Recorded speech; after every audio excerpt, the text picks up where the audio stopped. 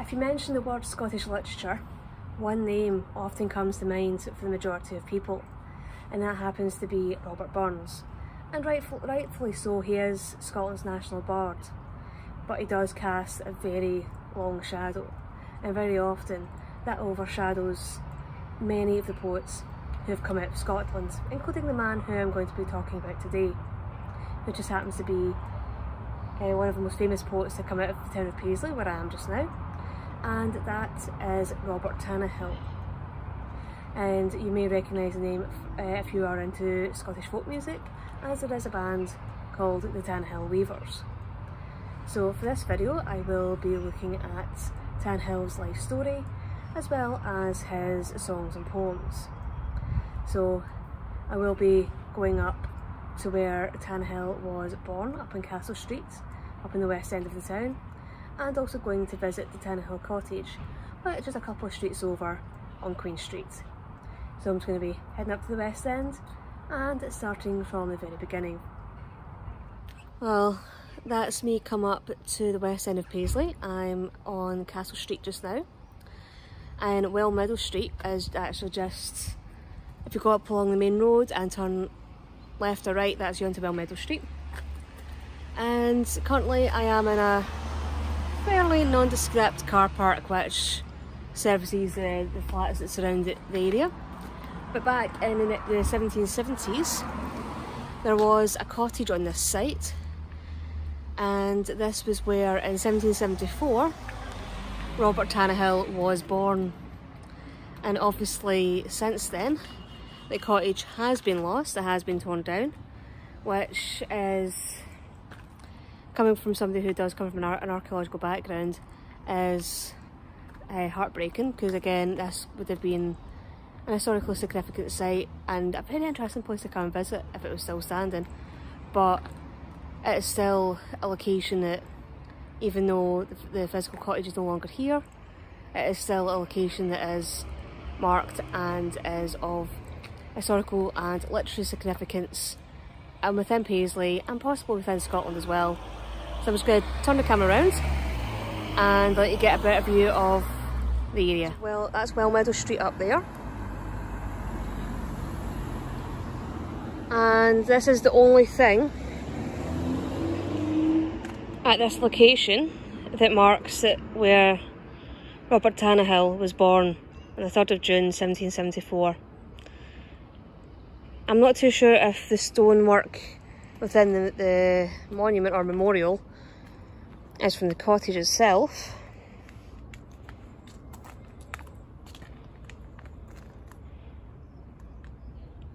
It's a very simple and understated memorial.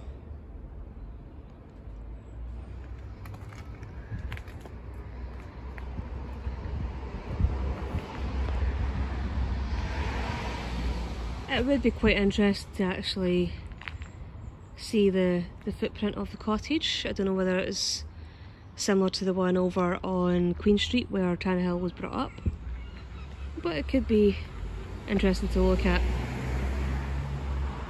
That's that mural again. It's on the, the mural trail. So, yeah.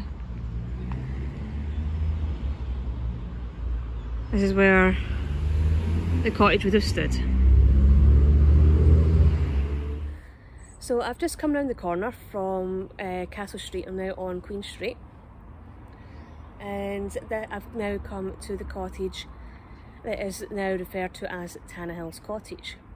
And Robert Tannahill was, him and his family moved in here when he was only a few months old.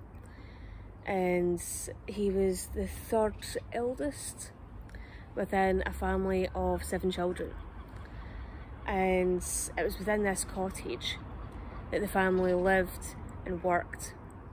And I like so many of the people with MPs at the time, Robert Tannahill's father was a weaver and Tannahill became his father's apprentice and learnt his trade as a weaver within this cottage, worked within this cottage and lived here for, for most of his life.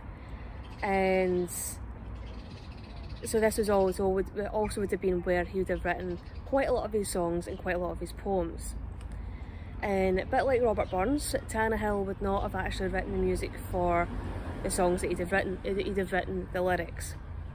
And somebody else would have written the music to go along with it. And the story goes that Tannahill actually is built on a small table uh, onto his loom so that he could keep some paper and uh, a pen and some ink so while so while he was working if he had any ideas for any of his poems or any songs he could just scribble them down and not really come away from his work. And after he finished his apprenticeship with his father uh, there was two years from I think it was 1779 to 1881 when T Robert Tannahill and one of his younger brothers actually went down to Bristol in England and went there to look for work. Because uh, again, like so many times within Paisley history, there were ups and downs within the weaving trade. There were a lot of times when the weavers were at work, there wasn't anything that they could do other than possibly move elsewhere in the hope of looking for employment. So him, uh, Tannahill and his brother spent two years down in Bristol, but things didn't work out, so they came back up in 1881 and Robert moved back in to the family home. And I think it was that was roughly around about the time that his dad died. So when he came back up to, to Paisley, he took over the weaving that his dad was doing within the cottage and continued to live here. His six other siblings all married and moved out and had families of their own. The only one who didn't marry or have any children of his own was Robert. He stayed here in this cottage with his mother until the day he died. And unfortunately, with Robert, he did appear to suffer from bouts of depression throughout his life. And it was in 1810 he had been out with some of his friends and a couple of them had walked, walked him back to the cottage and seen him back inside. And apparently at some point in the evening, uh, mother had dozed off and she only woke up after he had left the cottage. And it was roughly about that time that Tannahill's friend, two of Tannahill's friends came back to the cottage and had suspected something wasn't quite right. So they came in and they realised that Tannahill wasn't in the cottage with his mother. So a search party was organised and people went out looking to see if they could find him, knowing that he was in a fragile mental state at that time. And unfortunately, Tannahill was found, but those who were out searching for him were too late. They'd actually found him uh, at a covert uh, that, formed part of the Paisley Canal. And I think it was up in the kind of Ferguslie area of the town. And they'd realised that he was there because he'd taken off his his jacket, folded it neatly, left it on the bank of the covert and left his silver watch lying on top of his jacket. And it was, I think it was when they, they found it lying on, on the bank, then realised they were too late and his body was found in the water and he was dead when, the, when, when he was found. And when his body was removed from the water, he was taken back here to the Tanhouse, to Tanhouse Cottage and he was later buried in an unmarked grave, but which is marked now in the Castlehead Kirk. Uh, unfortunately, I don't think I'll be able to get access to the kirk itself because the, the, the kirk is actually being converted into flats but fortunately the graveyard is not going to be disturbed, it's going to be left in situ so hopefully at some point, maybe in the future, I'll be able to go back and show you Tannahill's grave properly once that work is finished. I will try and pop, uh, stop at the, the Kirk itself and show you the Kirk and try and show you where, roughly where the grave's located within the Kirkyard, but won't actually be able to take you to the, grave right now. And the reason why Tannahill's grave was initially unmarked is because he had died by suicide. He had committed suicide and back in the 18th and 19th centuries that was still seen as being a taboo subject, it was still seen as being a sin and that's why initially there was no marker or physical indication on the ground of where he was buried. Luckily enough now, uh, there is a grave marker, there is a memorial on the location of his grave, marking where, he, where he's now buried. And as I've said previously, unfortunately I can't actually walk up to the graveside right now because there is construction work going on. Uh, the, the car has been converted to flats. Hopefully once that work's finished, I can take you back and go up to the graveside and show you uh, where Tannahill is now buried. So I'm gonna finish this section of the video, but I will, in a minute, I will take you around the front and show you the front of the cottage. Uh, unfortunately, uh, the cottage is generally not open to the public. Uh, it's open, I think, usually on doors open day or through private viewing. It's the home of the Paisley Burns Club, which Tannahill was one of the, founding members, and which is also said to be the oldest Burns Club that is still in existence. So they use Tannahill's cottage as a base and where they meet. And I think I will try and post a link to the website, so hopefully if you are wanting to maybe see inside the cottage itself, you can contact them and organise a viewing if you're wanting to, to come and visit the cottage. So I'm gonna just grab a camera and head on around and show you the front of the cottage. So this is the, the front of Tannahill's cottage.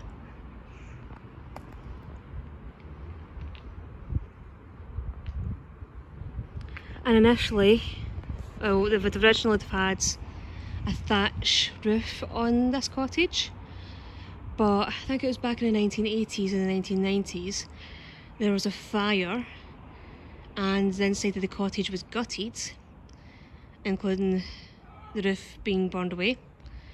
And part of the stipulation for the insurance was when they replaced the roof they had to put on a slate roof which was seen as being more of a safety precaution. So that's why it's now got a slate roof rather than a thatch roof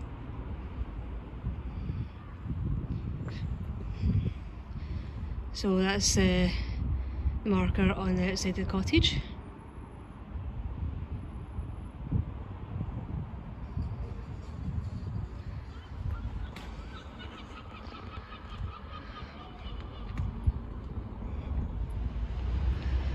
And this here is a statue to Robert Tannahill which stands in the centre of Paisley with Gauze Street over to one side and the town's famous abbey on the other side.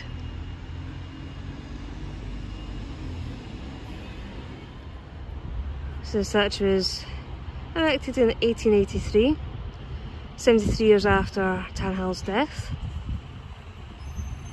And the money raised was through a series of concerts which took place on Gleniffer Braes between 1876 and 1883.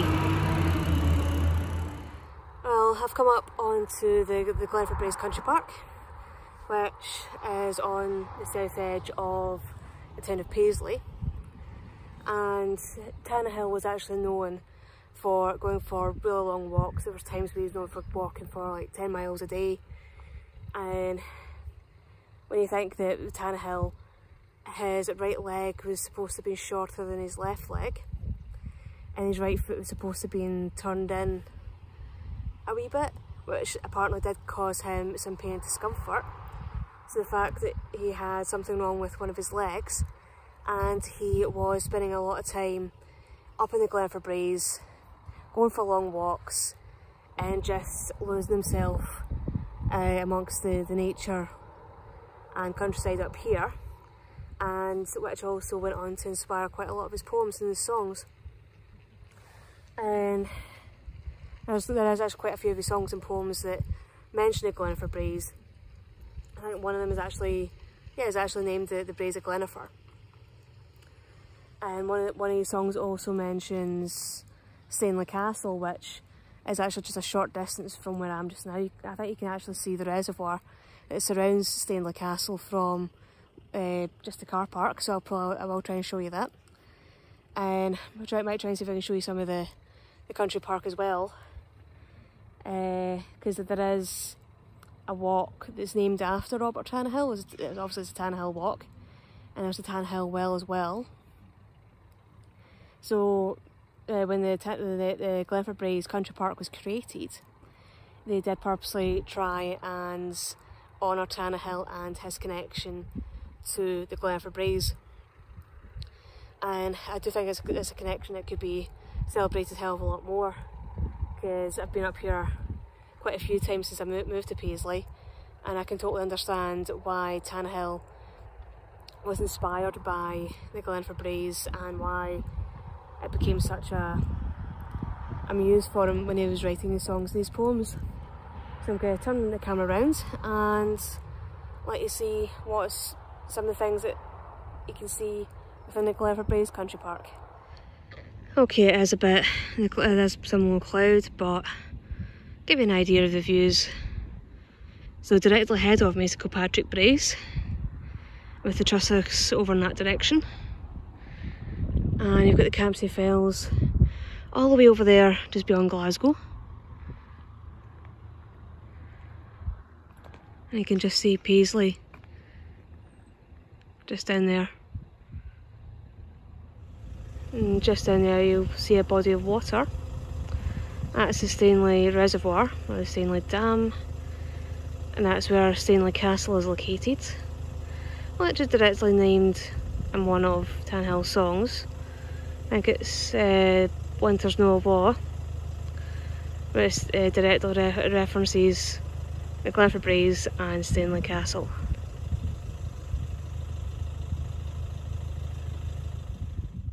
So this would have been the kind of landscape that Tannahill would have known. up Upland moor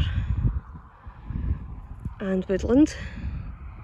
And this is where he came to get his inspiration.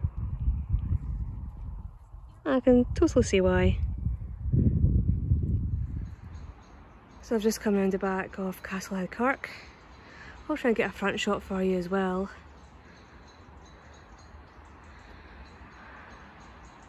There's, there's a graveyard in there. Obviously it is very overgrown. Hopefully once construction work's done this might get tidied up. But over there, you see a, slightly taller memorial in grey stone with an urn on top. I that's maybe the closest I'll be able to get to it. That is Tannahill's grave right there. And there is a path that is leading up to it. This is where the black handrail is. So hopefully when this all reopens again, I will, as I've said before, come up and show you the show you Tannahill's grave properly and pay some pay my respects. So it's probably a, a clearer view of the Castlehead Kirk.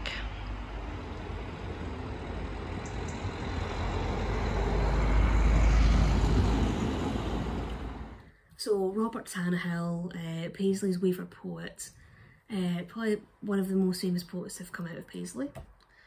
And yeah, I definitely believe that Tannahill needs to be as celebrated as much as possible, to be remembered, uh, and to be celebrated for the poet that he was.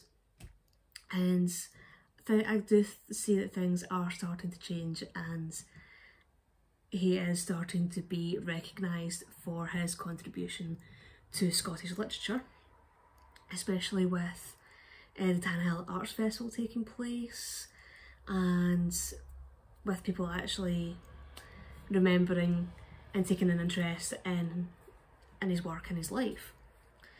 And I do think that that is something that certainly needs to continue and I, for the past few years I've actually been toying with the idea of writing a, a biography about Robert Tannahill. Uh, I really do need to get my fingers out and start researching and writing that because I do think it would be something of, of interest. And it was also, I did come up, I did kind of formulate that idea a few years back because it was just before Paisley, it was just as Paisley was going for the City of Culture status for 2021, which obviously went to another city. I did actually compile and publish a collection of Tannahill's poems uh, called The Weaver Poet, obviously with Tannahill being called The Weaver Poet. And currently I think it's available in White Cart Company on the High Street and is avail available on Amazon as well. So yeah, if you're looking for a copy of his songs and poems, uh, that there it is available. So yeah, again, hopefully you will have enjoyed this video. Hopefully it was informative and yeah, I do hope to see you all in the next one. So if you have enjoyed this video, please like and subscribe.